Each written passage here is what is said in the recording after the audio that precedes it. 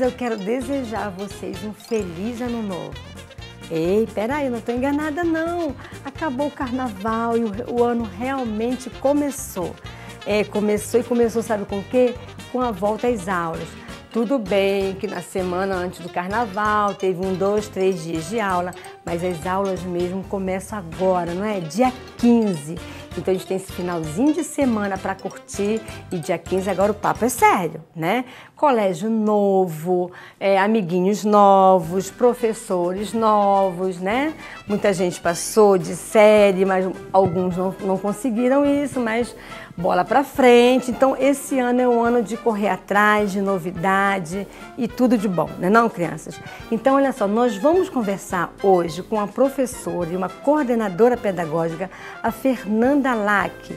Ela já veio aqui no nosso programa e ela tem muita coisa para passar para gente. Início de ano é assim, interessa para as crianças, mas interessa para as mamães também. Então chama a mamãe que nós vamos conversar com Fernanda agora. Tudo bom, Fernanda? Tudo bem. Meu bem, olha só, fala para as mamães de casa, porque assim, muitas crianças estão começando a escola agora, primeira vez. Nunca estudou, são pequenininhos. Fala para as mães quais os cuidados que tem que ser tomado, entendeu? Fala como é que é assim a adaptação da criança também.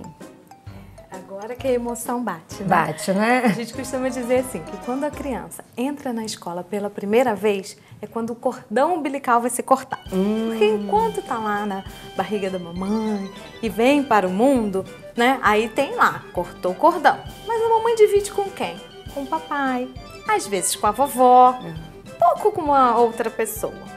Mas quando vai para a escola, essa criança vai ser inserida na sociedade. E aí, de fato, a gente tem que pegar aquele ser que era só nosso, que vai continuar sendo, uhum. mas entregar para a sociedade. Né? Então, assim, o primeiro passo para as mães, com certeza elas já fizeram, né? Que foi procurar uma escola, conhecer a proposta pedagógica, conhecer o espaço físico, os profissionais que ali estavam, a fim de garantir né, um, um trabalho de qualidade. E mãe segura, filho bem adaptado. Isso é máxima, né? Criança se adapta rápido, criança que está num espaço bem, com profissionais especializados, ela fica feliz, ela não tem problema. As famílias que precisam de cuidado. Na verdade, a adaptação é da família. A criança se desenvolve bem mesmo os pequenininhos, porque assim, a gente fica, né, as mães ficam, na verdade, assim, preocupados porque assim, ah, o bebê vai com oito meses, até menos, né? E, e, os pequenininhos mesmo, com um aninho, que já vai, começa no jardim um, que, é, é a independência realmente da criança, né? É a independência e assim, quanto mais nova a criança tá, mais fácil é a adaptação. Porque à medida que ela recebe conforto, carinho, né, que ela está bem assistida, ela fica feliz. Ela tem aquele primeiro, segundo momento, né, que ela tem que reconhecer aquele novo profissional, mas quando ela percebe que ali tem, é um ambiente que tem música, né, que tem amor, que tem o colo, ela fica bem.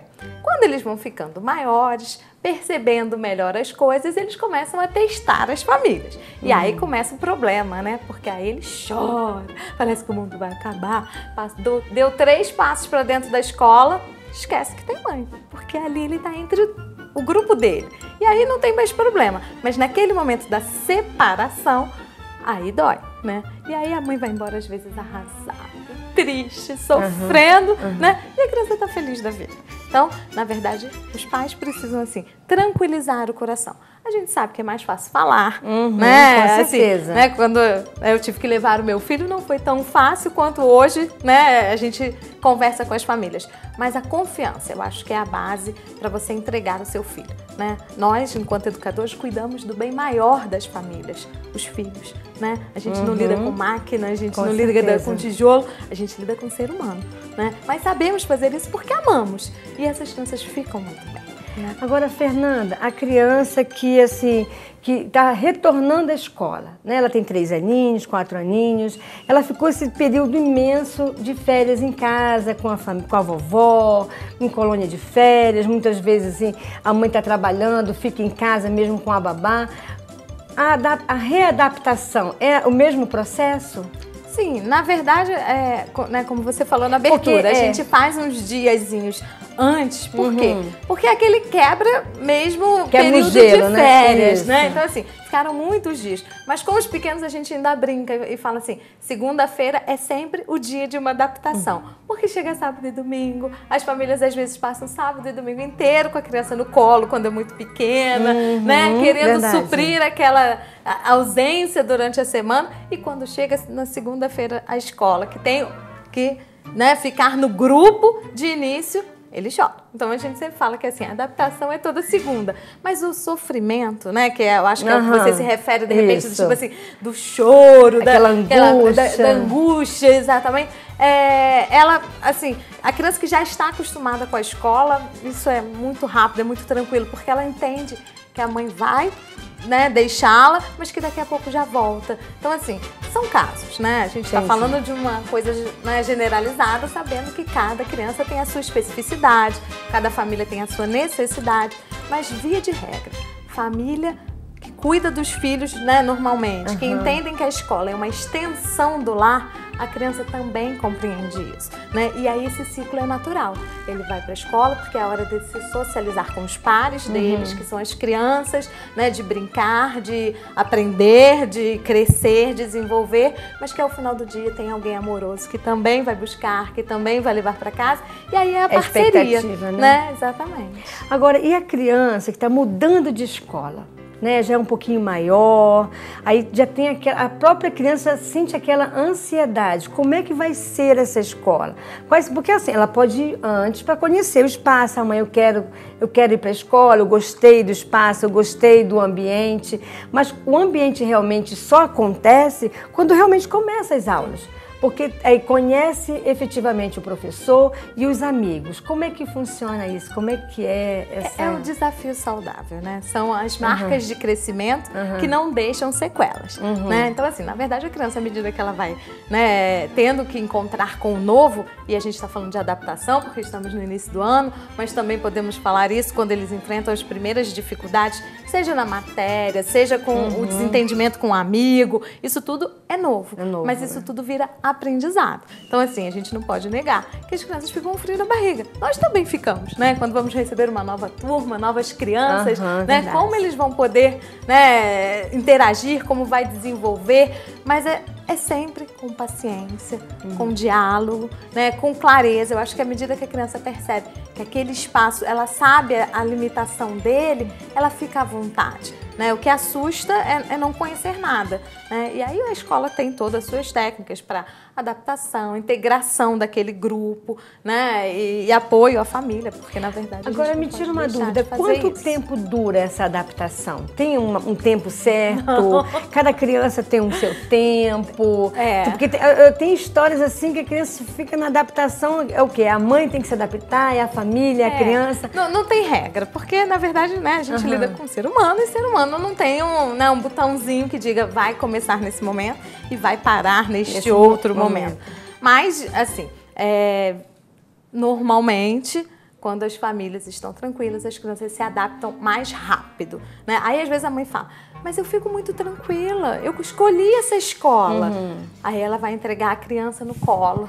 Aí a criança aí a bota no chão, uhum. aí fala, não vai dar beijinho. Não... aí é, é, aquele sentimento todo uhum. que ela segura aquela criança é o suficiente ela explode, criança chorar. Ela explode né? no momento da entrega. Exatamente. Então, assim, não, não tem uma regra. A gente não pode dizer que vai adaptar numa semana ou em três meses. Até porque acontece também outra coisa. Eu costumo dizer que às vezes, assim, acaba o parque de diversão. Às vezes a criança chega na escola, é uma escola nova, ou às vezes é, não é nova, mas é a escola que ele gosta de uhum. estar. E aquele primeiro momento, tudo é mágico, né? Sala uhum. nova, espaço novo, professor novo, tudo uhum. colorido, tudo muito legal aí o parque de diversão vira rotina. Porque escola tem rotina que não significa que é uma coisa maçante, mas tem regra, né? tem horário para as atividades, não é simplesmente né, fazer o que quer a hora que quer. Entendi. Aí quando às vezes essa ficha cai, aí a criança começa a chorar. Aí Mesmo a mãe acha que aconteceu pequenos, alguma coisa. Né? Não. Isso em qualquer faixa. Aí a mãe fala, mas ele gostava tanto de vir para a escola, não gosta mais. Aconteceu uhum. alguma coisa? Não, não aconteceu nada. Aconteceu que agora ele está entendendo que isso tem uma regra, uma rotina, né? Que não é simplesmente eu vou vir aqui, vou fazer, vou, Vou brincar, brincar. e vou embora. Aham. Vai brincar sim, né? Mas essa brincadeira tem todo Direção. Um, um trabalho, né? direcionada, Além de né? simplesmente, né? Chegar e fazer o que se quer. Então, Fernanda, dá um recadinho para as mães, então, assim, para uma adaptação saudável, né? O que, que elas precisam fazer? Beber três copos de água? Brincadeira. é, mas na verdade, assim, o copo de água serviria para acalmar o coração e Aham, lavar a alma. entendi. né? É, não, não há regra, mas eu acho que assim, se as mães confiarem na escola, se o coração diz, né, disser assim, esse é o lugar, que eu lugar. escolhi, e eu puder olhar para o meu filho e dizer, né, filho, vai com Deus, vai feliz porque você vai ficar bem, Aham. Esse passo já é um passo enorme, né? Mas se quando você for entregar, você ficar naquela amarra do beijinho e não solta, aí de fato, assim, receber esse outro é mais difícil. Então, a palavra da família tem muito poder. Né? Às vezes a gente fala com as famílias: ah, a criança está chorando, o que, que eu faço? Abraça, beija e diz assim: que ótimo que você teve nesse lugar. Eu escolhi isso para você. Eu confio que aqui vai ser bom. E aí isso vai. Vai, né? Porque a escola, né, é, assim, é o primeiro passo da liberdade da criança, né? É o momento que ela está sozinha, é o Da momento que- socialização. né? Exatamente. É a socialização. Eu estou só, eu estou vivendo aqui. Exatamente. né? A independência da criança. Fernanda, obrigada mais uma vez. Seja sempre bem-vinda É. ao programa, tá bom? E crianças, olha só, mamães, ficou a dica, não ficou? Então, vamos aproveitar e vamos deixar as crianças livres, claro, com segurança, que é o que a gente sempre procura, tá bom? A gente vai para o intervalinho e a gente volta já já. Conheça a Espaço Decor e deixe a sua casa como você sempre sonhou. Na Espaço Decor, você encontra móveis de primeira linha, qualidade variedade em sofás e muito mais. Produtos sob medida para valorizar cada ambiente da sua casa. São mais de 500 metros quadrados de opções para você. Pronta entrega e montagem rápida em toda a região. Espaço Decor. Móveis que decoram a sua casa. A Consultar e Telecom é a sua melhor opção em internet empresarial. Trabalhamos com um portfólio de produtos especiais pensados para atender os objetivos diários de seu negócio. Com uma completa linha Wi-Fi de alta potência, solucionamos suas necessidades indoor, outdoor, mantendo um alto desempenho de conexão. Solicite a visita de um de nossos técnicos especializados. Consultar e Telecom, conexão e integração aliadas ao seu desenvolvimento. Estamos crianças e olha só, volta às aulas é muita novidade, não é não? Então quando chega lá pelo meio do ano, muitas crianças sentem um pouquinho de dificuldade, né? E sempre precisam de ajuda. Então olha só, o Cabum foi conhecer um método muito bacana que ajudam as crianças assim a deslanchar. É o método Supera. Vamos assistir a matéria?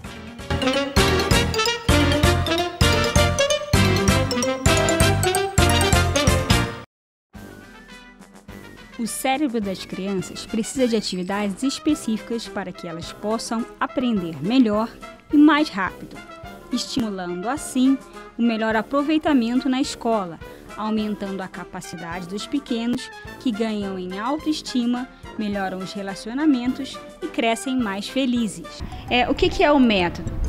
Bom dia, meu nome é Débora Lamotte Lopes, eu sou pedagoga aqui do curso e o método é o método Supera. Esse método ele é muito interessante porque ele ajuda a melhorar a memória, prestar atenção. A atenção é muito trabalhada, atenção seletiva. É, o raciocínio lógico ele é agilizado através de exercícios que todos eles obedecem os três pilares da ginástica cerebral, que são novidade, variedade e desafio crescente. E são aulas prazerosas. Então as crianças chegam aqui às vezes com dificuldade de aprendizagem, dificuldade de prestar atenção. E aí, com muito amor, com muita dedicação, com muito entusiasmo, a gente vai conseguindo é, incentivá-los para que façam os exercícios que nós trabalhamos com jogos, com o Abaco, que é uma calculadora manual japonesa, e ela ajuda muito a trabalhar a concentração, agiliza o raciocínio lógico. Então isso traz assim, reflete não só no cotidiano da criança, como na matemática. Então auxilia também em outras disciplinas. E nós estamos trabalhando de maneira é, equilibrada. Ora o hemisfério esquerdo, ora o direito, os dois juntos. E isso, os resultados, eles vêm, agora vem a médio e a longo prazo. E a criança também tem o deverzinho de casa para fazer mas são deveres prazerosos. Então as crianças, elas não se recusam a fazer, elas torcem para chegar o dia da aula e quando chega não querem ir embora. E às vezes chegam até mais cedo. Tem casa que de mãe me ligar e falar, já está todo pronto aqui para vir. E é um trabalho é, pedagógico com o apoio da doutora Carla Tiepo, que é uma neurocientista. Então, eu sou pedagoga e tenho estudos mais aprofundados sobre o cérebro, sobre como aprender, como ensinar. Então, é um trabalho que tem dado um resultado muito positivo a, a crianças, adolescentes, adultos e terceira idade.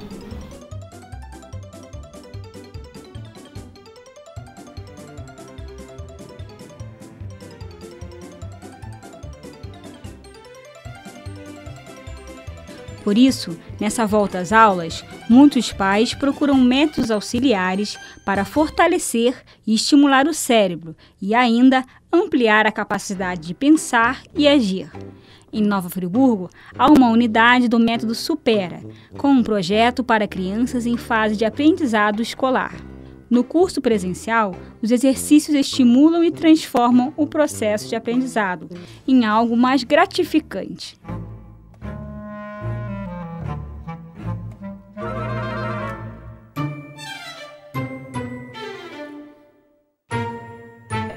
Que acontece? Quando, quando esse trabalho reflete na autoestima da criança, é, o comportamento dela é, acontece uma modificação muito significativa.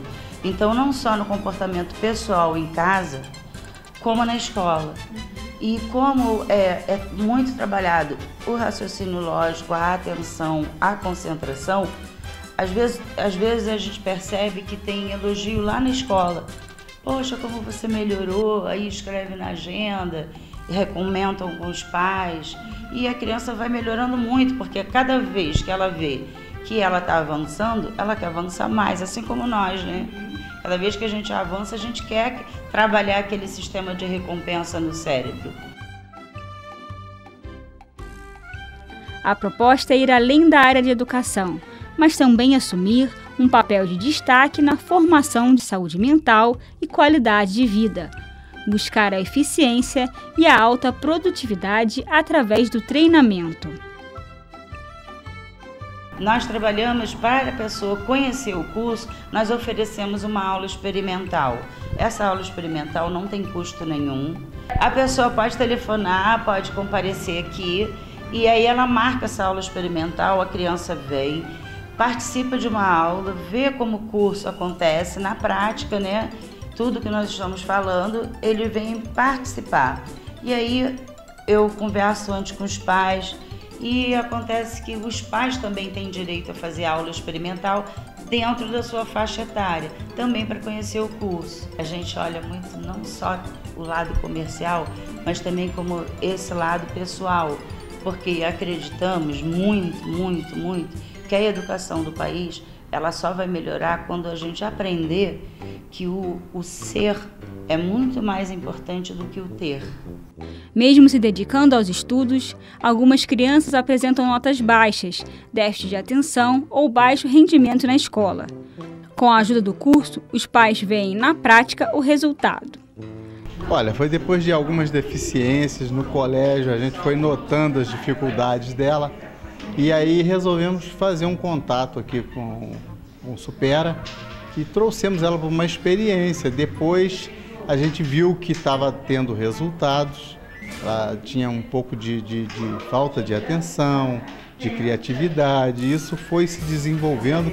Hoje ela se movimenta uma, com muita facilidade. Tá no colégio, ela foi aprovada com antecipação. Isso tudo depois do trabalho que foi feito aqui no, no Supera. Foi muito eficiente isso na, na, na vida da Isabelle. O trabalho feito aqui, eles trabalham de uma, de uma maneira geral, né? Trazendo assim uma expansão toda para o cérebro, desenvolvimento. A Isabelle ela tinha dificuldades até de comunicação. Isso mudou muito, foi muito bom para a vida dela. Porque você sabe, você fica com uma criança presa dentro de casa, só com televisão, computador, celular, isso tira a criatividade, tira a atenção. Então é muito importante fazer esse trabalho que é feito aqui no Supera. Eu acho que isso traz um crescimento muito grande para as crianças. O senhor indicaria para outros pais? Sem dúvida, indicaria sim. Porque eu acho que isso pode ajudar muito nessa interatividade, né? A criança fica muito preso, ele não tem, vai fazer o quê? Conversar com quem? Né? É só aquela coisa eletrônica. Aqui não, você tem tratamento com pessoas. Então eu acho importante, pessoas que tiverem a dificuldade que eu tive com a Isabelle, podem trazer que vão ficar satisfeitos. Sandra, o que, que você acha do Carlos Eduardo ser estimulado? É, nós vivemos uma era de geração de crianças com a internet, computador, desse estímulo extra que ele ganha. Olha, muito bom, muito bom mesmo, porque melhora o desenvolvimento, o raciocínio, não fica preso àquela tecnologia. Aqui tem aqueles jogos lúdicos. Isso faz falta, né? Porque a criança não fica só presa ali, ela, ela interage com outros coleguinhas. Eu particularmente adorei o curso e está fazendo muito bem para ele, está melhorando muito. Estimular o cérebro é uma maneira de estimular as crianças, estimular a educação? A educação, a memória, a, o raciocínio. É, ele não fica preso só àquela sequência de jogos, ele tem ele consegue desenvolver um raciocínio para chegar à solução dos problemas mais fáceis. Entre os estudantes, as aulas dinâmicas e interativas e o material diferenciado fazem sucesso. Isabel, o que, que você acha de estudar aqui? Legal. O que, que você já aprendeu? Um monte de coisa. É, eu já joguei, aprendi o Sudoku e o jogo lá que é de você contar os dedos.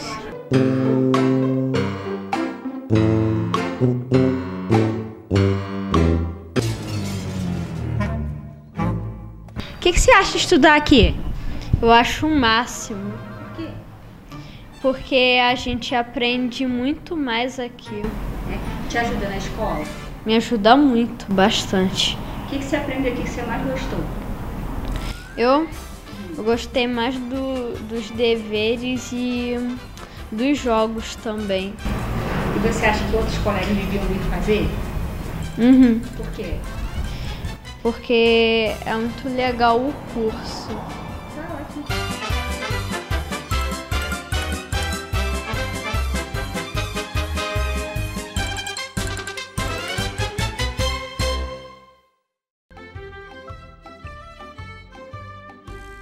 Muito legal, não é não, crianças? Olha só, criatividade, jogos, isso é muito bom, isso ajuda e muito no nosso aprendizado. Então, crianças, mamãe, se o seu filho está com dificuldade, você acha que ele precisa assim de um acompanhamento, de uma força para poder assim, para não vacilar no meio do ano, né? Porque é a hora que a gente precisa mais trabalhar a cabecinha, porque corre atrás de nota. Isso é muito importante, né? Não, vamos deixar as crianças tranquilas, porque olha só, através de jogos e muita criatividade, a gente aprende mais fácil, não é não? Então, olha só, presta bem atenção, método supera, vale a pena conhecer.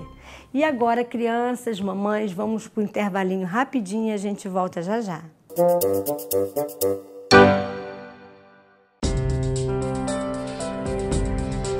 Eu tô aqui com o Gabriel Ruiz, que é diretor da Predial Primos e vai contar pra gente quais são as últimas novidades que a Índia Primos e a Predial Primos têm a nos oferecer.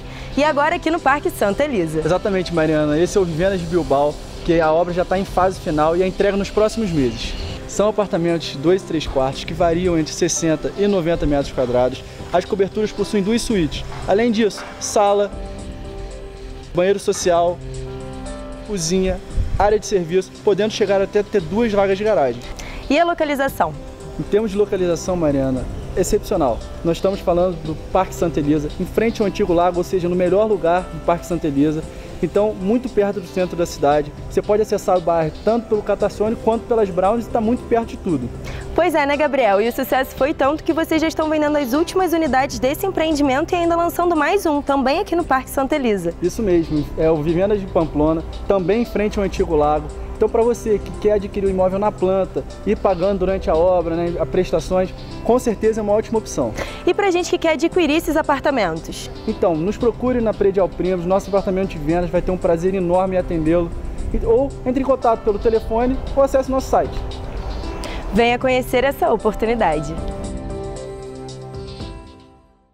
Para baixar o aplicativo da TV Zoom, entre na Google Play se o seu dispositivo for Android ou na App Store se você estiver usando o iOS. No campo de busca, digite TV Zoom e ache o nosso ícone. Clique no botão para baixar e aguarde a instalação.